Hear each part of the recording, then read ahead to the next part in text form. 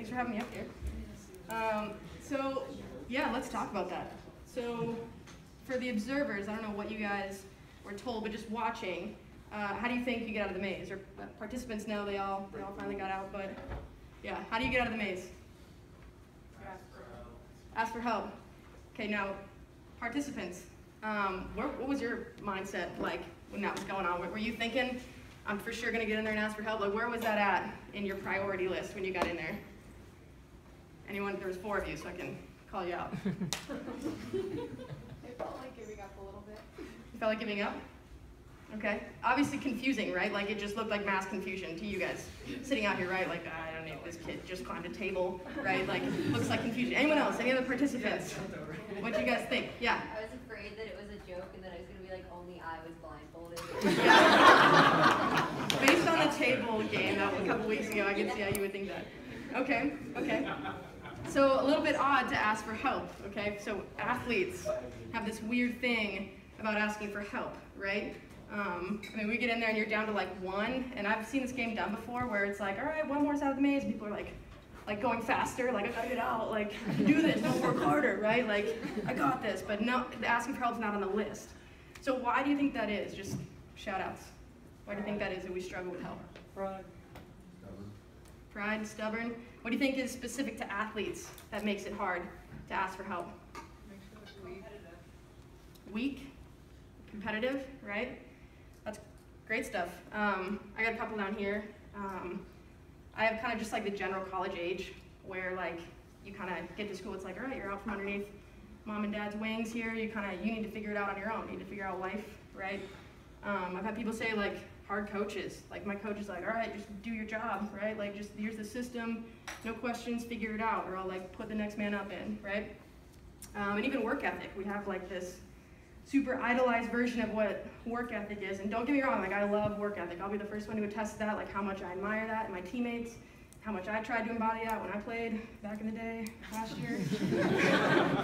um, but we kind of idolize work ethic to the point where it's like if I if I work really hard, like if I put six plates on and squatted, like nothing is gonna be denying me. Like I'm gonna win a national championship, right? Like we're just like gritty like that, right?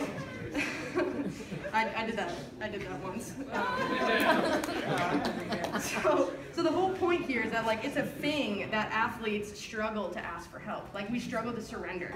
Like it's not just a weird thing. Like I had one guy come in here and he was like, "Well, I figured I'd like at least exhaust my options, right? Like I'd get in and like, you know, look at every nook and cranny of this maze, which is like a poorly set up maze on purpose, right? Um, I don't know. It's pretty convincing to me. yeah, yeah, it looked great in there, right? I did it with like an X set of rope, like just two ropes, and people were like, they found, I don't, I don't even know how they found all those options. But yeah, one kid was like, I gotta get in here. I thought I'd at least like, you know, look at every nook and cranny, right? And then I'd ask for help at that point as like the last resort. So the whole essence of principle three is surrendering and how we surrender. Um, and knowing that if I need to grow, I need to give up control It's kind of odd, right? You want to grow, but that requires giving up control. And so I thought before we address that, um, we should probably bring to the surface this propensity for athletes to seize that control uh, of their circumstances, of their sport, um, and that unwillingness to give it up and to let God uh, take over and kind of do a redemptive work, do a reconstruction in us. We want to grow, yet we don't want to like change or give it up. Like we'll sit in this maze, like just like death gripping it. And so um, kind of to go along with that, um, we bring brokenness into our relationship with Christ. Like Sandra just talked about it, right? We bring brokenness in. Um, so don't think that there's not brokenness in you that needs to be redeemed when you come to that relationship, right? So you, when you come in, it's be willing to call call what you do into question. Starting with sport, right? We're talking about sport. Be willing to call the way you operate in your sport into question, right? Like, okay, I normally get like super frustrated when we're losing. When I wasn't scoring, I'd get super frustrated. I'll be honest. And when I came into my relationship with Christ, that was like the first thing I wanted to give up and be like, all right, this is what I've been doing. What do you say? Like, what? how should I do it based on what you teach? So we're going to talk about that, talk about surrender, and we basically break it up into two different things. Like, what does that even mean then? What does surrender even mean? Who am I surrendering to? And the first thing is the Word of God, and I don't have my clicker in the five minutes that I had in my hand. You want to help me out there? Oh, God, that's great. Okay. Um, so the Word of God, what is it? Okay. Um, 2 Timothy says, All scripture is God breathed and is useful for teaching, rebuking, correcting, and training in righteousness, so that the servant of God may be thoroughly equipped for every good work. Okay, so what is this basically? Obviously, it's the Word of God. It's His Word to us. It tells us who God is and who we are in relationship to Him. And that's super important. But more specifically for this talk, and what I want to talk about is um, how we're supposed to live, like what it what it looks like. Um, you know, a lot of times, and I'll show you. I think I have it a couple slides down. Um, but Psalm 119, we're going to come back to it. Um, but it says, "Oh, how I love your law." I meditate on it all day. Your commandment makes me wiser than my enemies, for it is ever with me. And I know that sounds kind of weird to be like, uh, I love a law, like you love rules, like that's kind of weird. And we we have this tendency to like condense. Oh, yes, thank you so much. Um, I think that's yeah. Okay, that looks good. Um, I haven't gone through this presentation with my slides yet, so we'll see how that goes. Go 20 minutes and like click 14 slides down, and there's the end. Okay. Um, okay, so Psalm, Psalm 119. Oh, how I love your law. I think I got it on it. Okay, sure.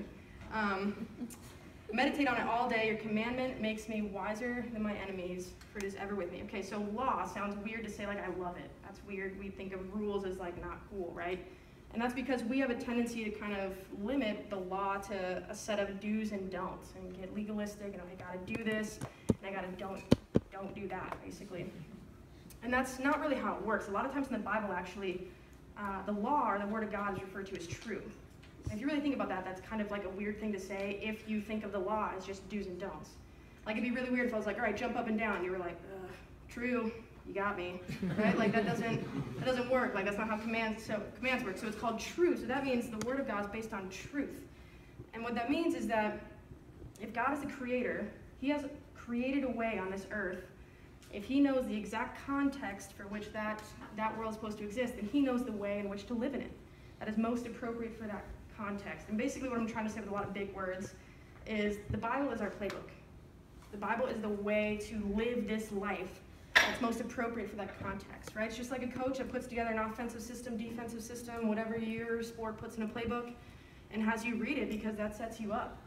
They know that going into that game, if you know that playbook, you put yourself in the best position to win that game. And that's what the Bible is. So the first thing you have to do as far as training is study it, right? And we're coming back to this to this psalm, right? I love your. I meditate on it all day, right? And this kind of alludes to the second point, which is to store it. Okay, so it's, it's more than just like seeing the app on your phone and being like, great, cool, check it off the list. I did the verse of the day, right? It's about meditating on it. I love that word choice, meditating on it. It's like soaking it in, right? Like I'm keeping it within me. And look at the result. He says it makes me wiser than my enemies. Right? It's the it's the playbook. And every day is game day when you're a Christian, right? Like you're not gonna face temptation tomorrow.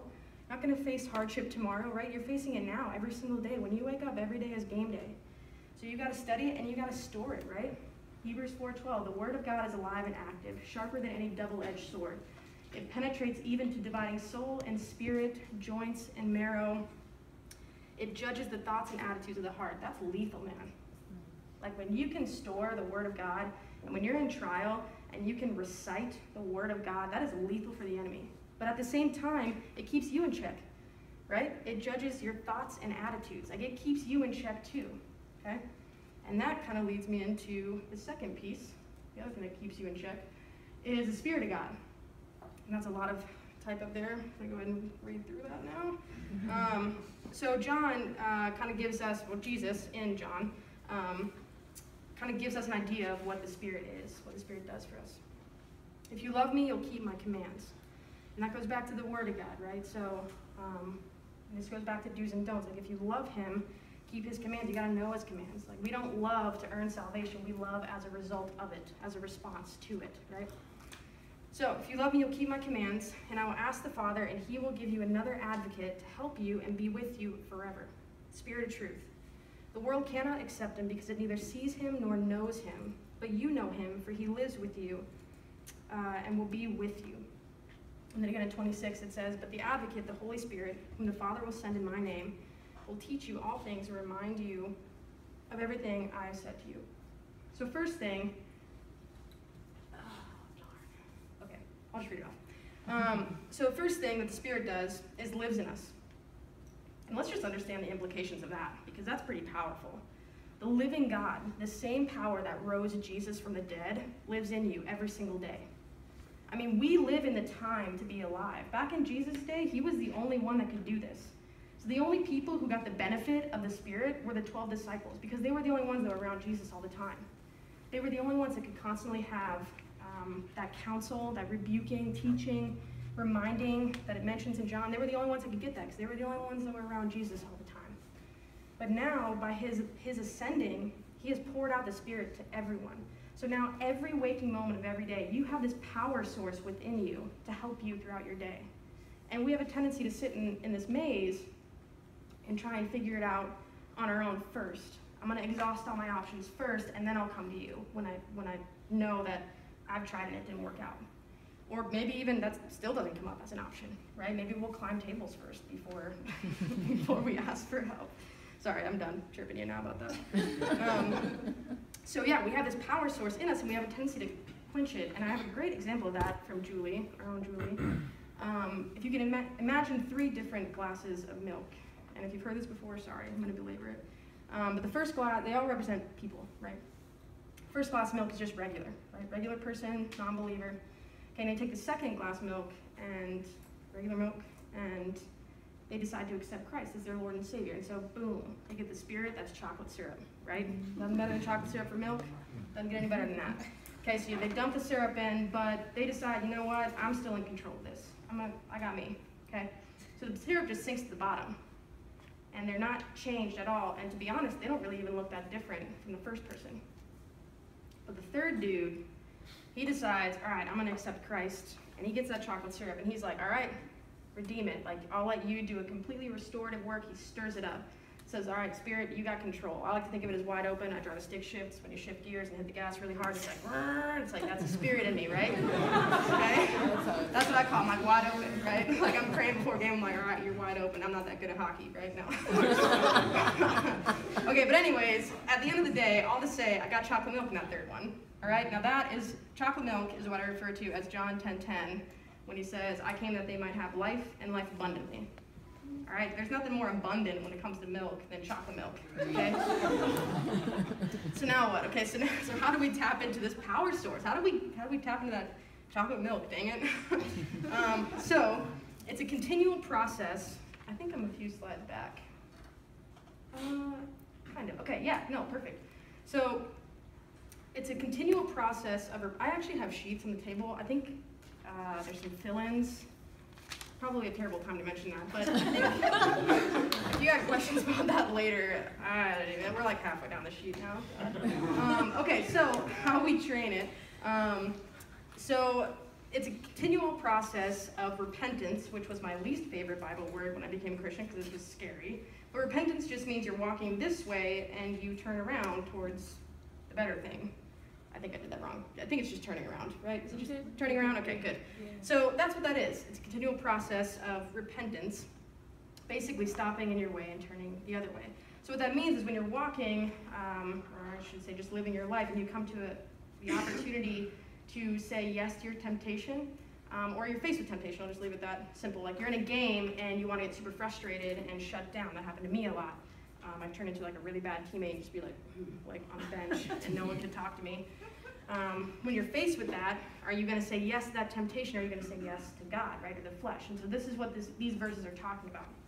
So it says, the acts of the flesh are obvious sexual immorality, impurity, debauchery, idolatry, and witchcraft, hatred, discord, jealousy, fits of rage, selfish ambition, dissensions, factions, it goes on, envy, drunkenness, orgies, and the like. I warn you, as I did before, that those who live like this will not inherit the kingdom of God. They won't inherit that life abundantly. They won't get chocolate milk.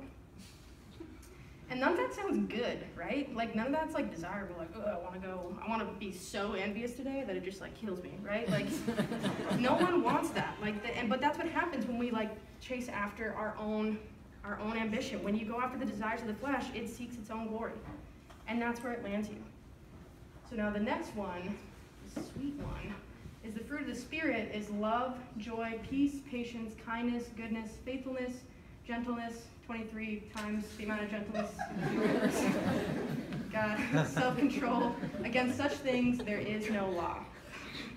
Chelsea like that one. uh, should have paid attention to that. Okay. Um, against such thing, there is no law. So, um, this is kind of the way, like, this is the way we want to choose. And this isn't going to be perfect. Okay, and that's kind of the key thing here is like it's not perfect and it's not linear, which I think is how athletes think. We think we're not going to make mistakes, so every single time we get faced with a temptation, I'm saying no.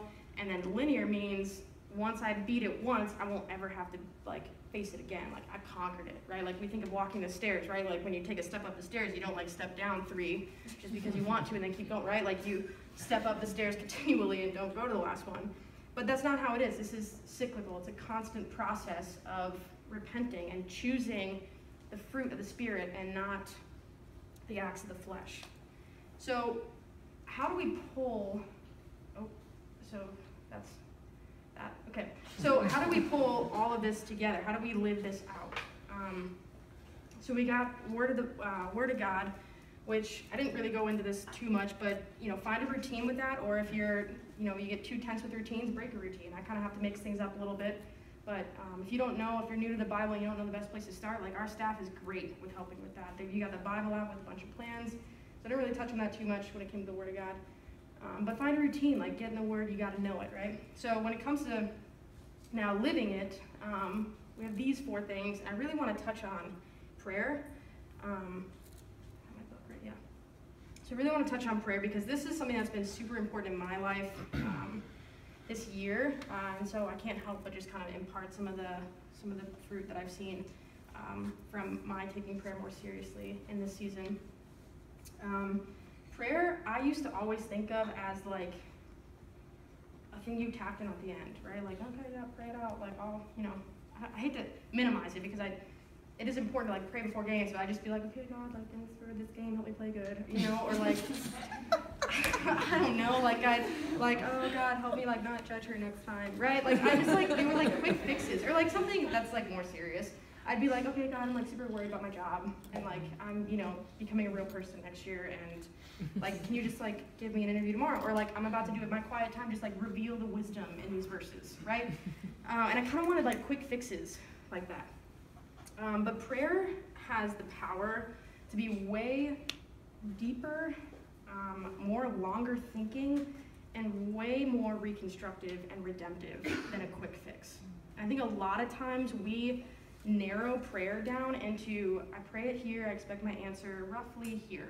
Like a day later, this weekend for my games, training, um, or we just like expect it in the context that like we expect it. Like, okay, I like, okay, honest example. I wanted to be an Olympian.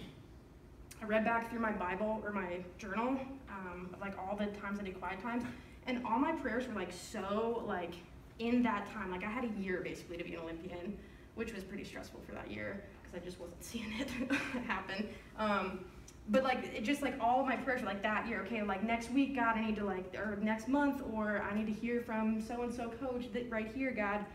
Um, and it's just so much deeper than that. So I took the time this season to get like way more strategic with prayer and like way more serious and like longer thinking and way more impactful. Um, and I want to read you. I actually read this book, Circle Makers. It's about talks about prayer. Recommend it if this sounds interesting to you guys at all. Um, but just to kind of go along with what I'm talking about here, um, I'm kind of a numbers freak, so I geeked out a little bit at this. You guys might just lose it, but here's kind of what I'm talking about. In one minute, light travels 11 million miles. In one day, light travels 160 billion miles. In one year, light travels an unfathomable 5 trillion, 865 billion, 696 million miles. That's just one light year. The outer edge of the universe, according to astrophysicists, is 15 and a half billion light years away. Now, if that seems incomprehensible, it's because it's virtually unimaginable. Yet God says that this is the distance between his thoughts and our thoughts, right? So my ways and my thoughts are higher than your ways. So here's my thought. Your best thought on your best day falls 15 and a half billion light years short of how great and how good God really is. Even the most brilliant among us underestimate God by 15 and a half billion light years. And I'm going that sec. 15 and a half billion light years is how, like, that's like 40 million zeros. You know, like that's, we fall so short what we expect. We serve a God that can do, exceedingly more than we can ever think or imagine. And we pray like for this week, right? 15 and a half billion light years short. So when you pray, don't just pray that God will help you stay focused on Him and glorifying Him in competition. Ask Him to search your heart and redeem the parts of your heart that keep Him from honoring, keep you from honoring Him. Right? Like that's a process. Like search my heart, that's dangerous, right? Don't just ask Him to help you stop with envy or jealousy. Or better yet, don't just ask Him to help me get in the Word more.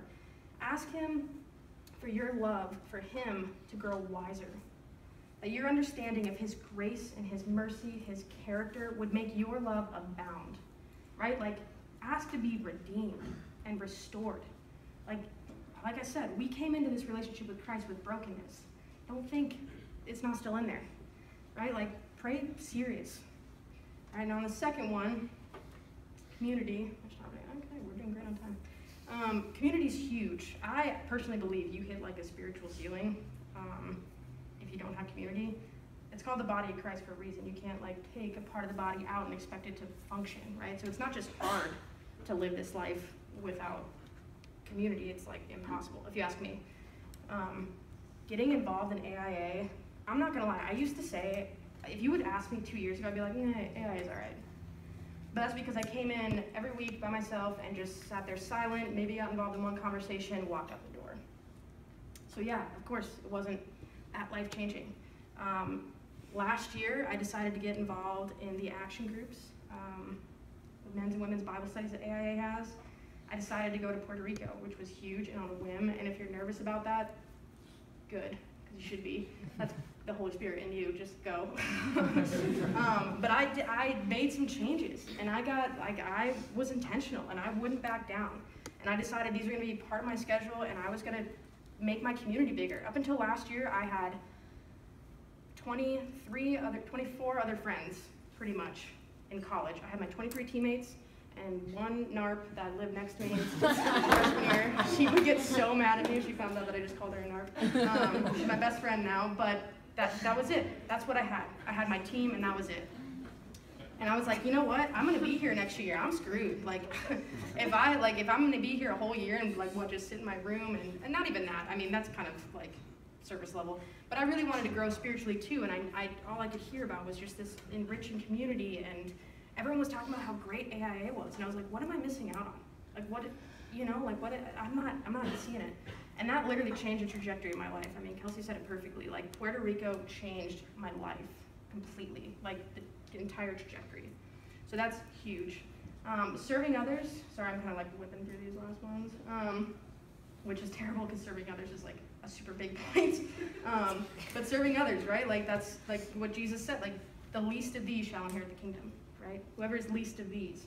Um, serving others is very, very important. I mean, that is a reflection of Jesus. Um, and then lastly, evangelism. Tell people about your story, right? AIA gives you plenty of opportunities to learn how to tell your testimony, um, to learn how to engage others. You guys have a team of people that you can talk to. Granted, I know your teammates are like super hard. Um, now that I'm not on team, I like look back and realize like it actually is a challenge. Like you're hard on yourselves because you're like, they're my teammates, man. I should be able to talk to them, but it's actually, I'll give you that room. It's pretty hard. But that being said, like you have a team of people to talk to about your story, about how God is changing your life. Like that is, I mean, Luke, one of my one of my biggest sections this last year since Puerto Rico was in Luke.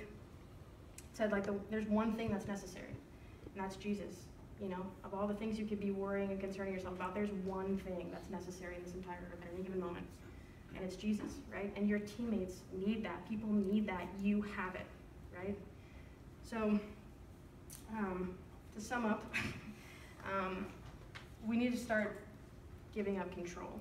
We need to stop walking around in this maze thinking, I got it, just give me five more minutes, right? Like, I'm not, I'm not saying walk out this door like I'm not taking this step until it's the spirit in me, right? but like, like call it into question, right? Like call it into question, the way you operate, get those dangerous prayers rolling, like search my heart. I wanna be different for your kingdom, right? So we're gonna break up into groups here, do some uh, discussion. Um, and I don't have it up here, um, I don't think, yeah. Um, but the kind of the question I think would be good to start chewing on um, is what are you afraid to surrender? Or what what aren't you surrendering that you might not even realize it? Like, think about those types of things, right? What can you be praying? Anyways, that's more questions. Just think about what you aren't surrendering right now. Like, what are you afraid to give up, or what aren't you giving up for other reasons in small groups? Sweet. Thank you for having me up here, by the way. You guys rock.